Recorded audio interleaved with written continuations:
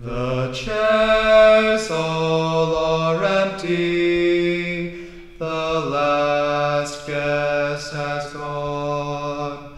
The candles burn lower and lower, and sputter on and on.